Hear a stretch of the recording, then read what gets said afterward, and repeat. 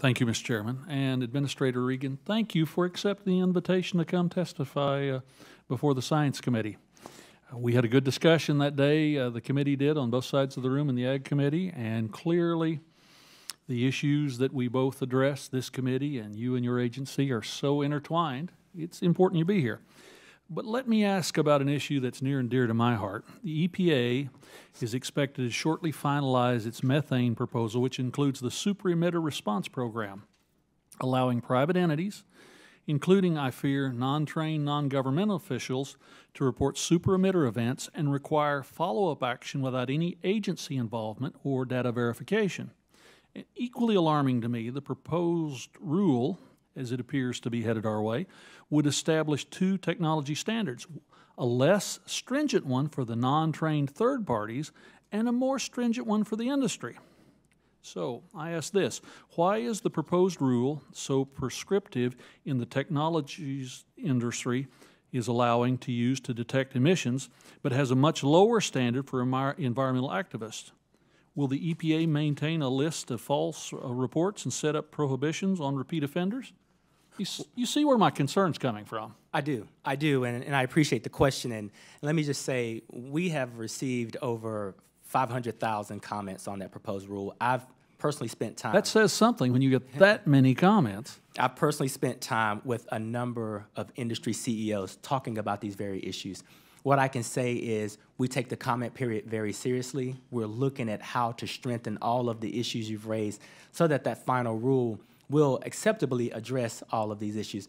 Uh, let me just say that we do not want any adverse impacts or unintentional consequences to receiving any kind of false data or any kind of data that jeopardizes the scientific integrity that we have built into this program. So we are looking at every single issue you've raised, and I can guarantee you that we're responding in kind. Because we don't want to create a system that would appear to the outside world to be hiring bounty hunters who have a lot more flexibility than those who are being pursued, so to speak, right or wrong. And I appreciate that. This same methane rule proposal calls for new compliance requirements at facilities within two months of the rule being finalized. A number of industry groups have flagged that supply chain constraints for a range of equipment are certain to cause a delay in meeting that short deadline. And at the same time, I'm aware of only one application to the EPA from a company seeking to use new technology in detecting leaks at oil and natural gas facilities.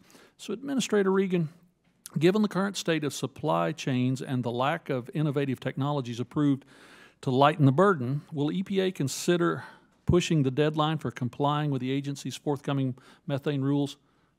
Give a little more flexibility? We're, we're giving a lot of thought to compliance uh, flexibility and compliance deadlines. And again, just last week, week before last, I, I sat down with some industry CEOs to talk about this very issue and how we balance uh, the potential impacts to the supply chain. Uh, so yes, we are having these discussions. Uh, I want to just continually say that a proposal is just that.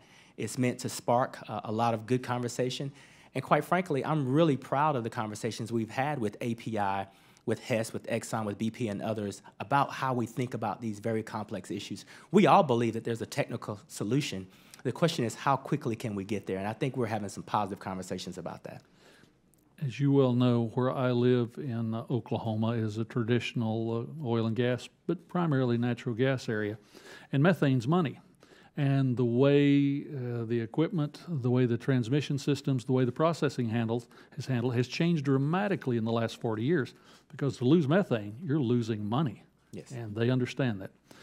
Well, Mr. Administrator, I appreciate that, and we will keep a very close eye as these rules work their way through the process. But again, thank you for coming. And I suspect uh, over the course of the coming uh, months and years, there'll be a number of opportunities where we will invite you back to discuss our common focus on science and the effective use of it. With that, Mr. Chairman, thank you, Mr. Administrator. I yield back.